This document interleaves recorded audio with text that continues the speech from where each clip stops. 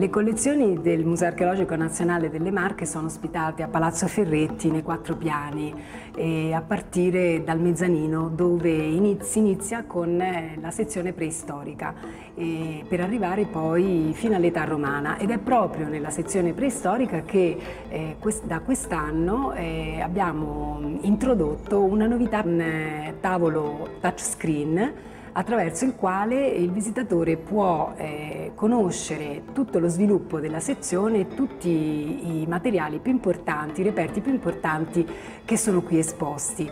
Guida d'eccezione all'intera sezione preistorica è la Venere di Frasassi, questo piccolo idolo di 20.000 anni fa che è contenuto all'interno di una vetrina interattiva, sfiorando il vetro della quale si possono avere moltissime informazioni. Ogni giorno come pensi fare?